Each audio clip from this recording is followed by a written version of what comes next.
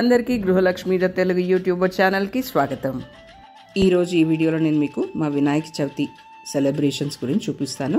So దీనిలో నేను ఏ Idol తీసుకొచ్చాను ఏ వినాయకుడి విగ్రహాన్ని తీసుకొచ్చాను అనేది కూడా చూపిస్తాను.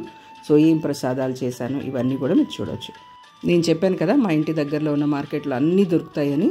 సో అలా ఇరవై ఒక్క పత్రాలు దేవుడికి కావాలి కదా. సో అవి మా పూలమ్మాయి తీసుకొస్తానంది.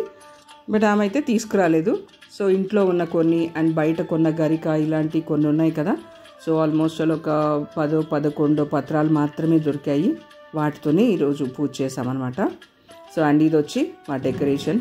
Baby pink and white cloth తోటి ఒక టీపా మీద పరిచి ఫ్రిల్స్ పెట్టి ఈ వెనక ఆర్చ్ లాంటిది ఉంది కదా అది కూడా మేమే చేసాము హూలా హూప్ ఉంటుంది కదా దాన్ని తీసుకొచ్చి ప్లాస్టిక్ ఫ్లవర్స్ తోటి డెకరేట్ చేసి అండ్ నేను ఆల్రెడీ చేసిన అరటి చెట్టు అండ్ అరటి పండ్లు కూడా దీనికి పెట్టేశాను. వినాయక చవితి ముందు రోజుకి ఇలా ఉంది. అండ్ పక్క రోజు గణపతిని పెట్టి పూజ చేశాము. సో ఈ గణపతిని మేము తీసుకొచ్చింది. ముందు వీడియోలో చెప్పాను కదా నేను ఒక గణపతిని తీసుకున్నానని ఈయనని. కాకపోతే ఈ గణపతి ప్లెయిన్గా వచ్చింది. జస్ట్ కళ్ళు ఇట్లాంటి పెయింటింగ్ అవి చేసి పెట్టారు. బట్ ఈ కుందన్స్ ఈ టర్బన్ పైన ఉండేవి ఇవన్నీ కూడా మేమే చేసుకున్నాం. సో దాంతో ఇంకొద్దిగా డిఫరెంట్ లుక్ వచ్చింది. అండ్ ఈయన మా వినాయకుడు. చాలా ముద్దుగా ఉన్నారు. నాకైతే చాలా నచ్చాడు.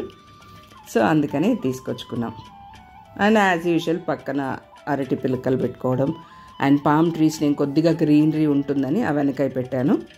అండ్ ఇవంతా కూడా డెకరేషన్ మేమే చేసుకున్నాము.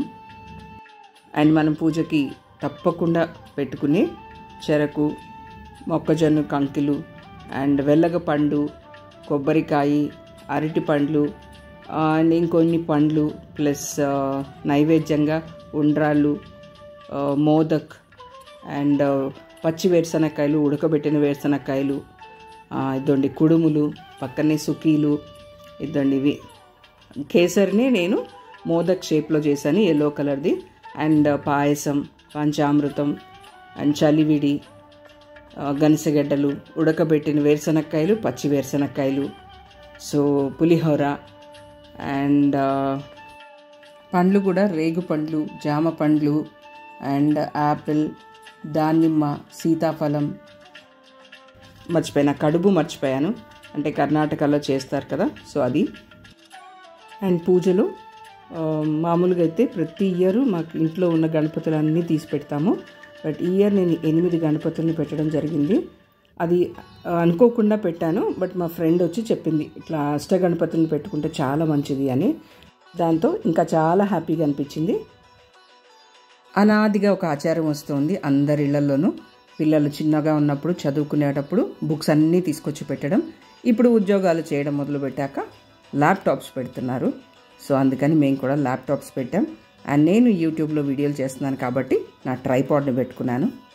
సో ఇదన్నమాట మా Vinayaka Chavithi decoration and celebration విశేషాలు. అండ్ సాయంత్రం మా అపార్ట్మెంట్లో కింద వినాయకుని పెట్టాం. సో అక్కడికి వెళ్ళి పూజ చేసుకొచ్చాం.